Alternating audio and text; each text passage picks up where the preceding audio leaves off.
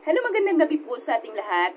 Ngayon po ay atin namang ibabahagi sa inyo ang kapangyarihang nakapaloob ng ating mga laway. Ano ba ang kapangyarihan ng ating mga laway? Karamihan sa atin, kapag tayo ay nakakakita ng uh, na taong natutulog or taong nagsasalita at nakikita natin sila na tumutulo ang laway or minsan pag nagsasalita ay tumatalsik ang laway ay nas- nasasabi natin, Ew! Yak. Kasamihan yan po ang ating nasasabi. Ngunit, ano ba? Ano ba ang kapangyarihang nakapaloob sa ating mga laway? Ito po ang ating aalamin. Kung minsan ba naisip ninyo na kung gaano kahalaga ang ating mga laway?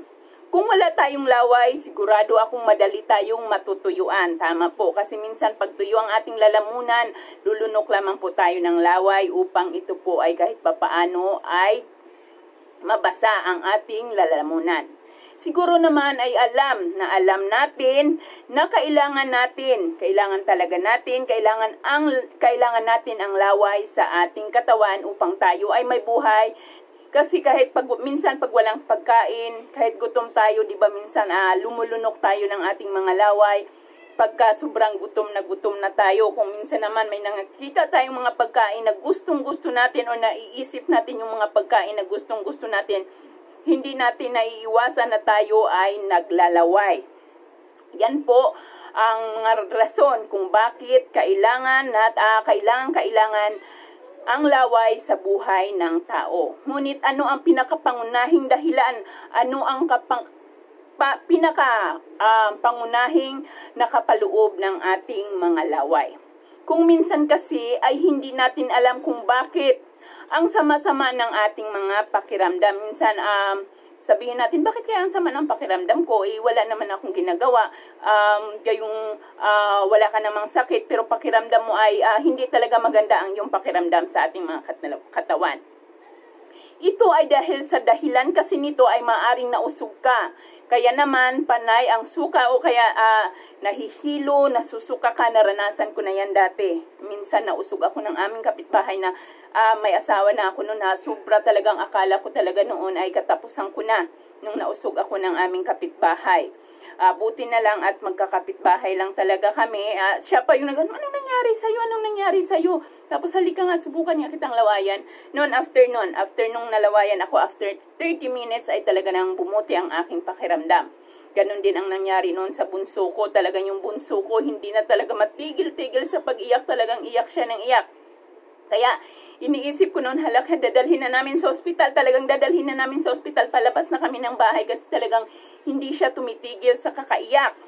Tapos, nung nakita namin siya, sa, nung nakita siya ng tindira, sabi, saan kayo pupunta?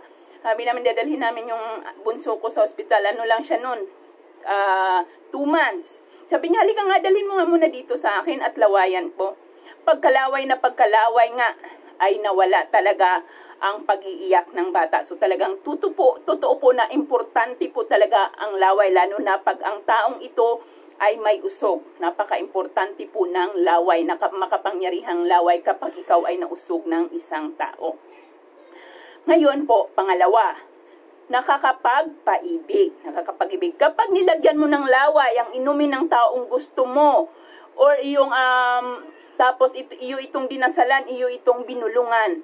Pupwede siya, umaari siyang ma-in love sa'yo ng todo-todo. Ito po yung gayuma gamit ang ating mga laway.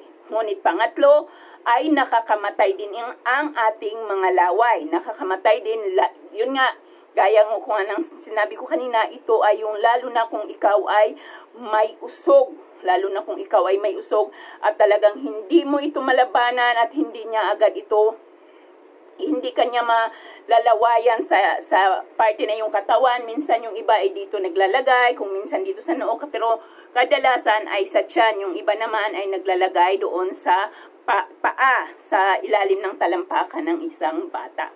Kaya po, yan po talaga kung ang mga rason kung bakit napakahalaga ng laway sa ating mga katawan. Ayan po lamang maraming maraming salamat po at magandang gabi sa ating lahat. Malapit na malapit na po ang ating paraffol. So, 12 days, ano, 13 days na lang dahil ngayon po ay December 4 na. So, wag po niyong kalimutan ang laging manood ng ating mga video ng horoscope. Kapag nakita nyo po si Santa doon, ay isend nyo po kaagad ito sa Philippine One. Kahit po hindi kayo na-replyan, ay tiyak na po nakasali na po kayo sa ating raffle. Ngunit dapat po at tuwing tayo ay nag-upload ng Facebook ay araw-araw po kayo may sagot doon. Mas marami pong entries as may marami pong chance of winning. Ayan po lamang maraming maraming salamat at magandang gabi sa ating lahat.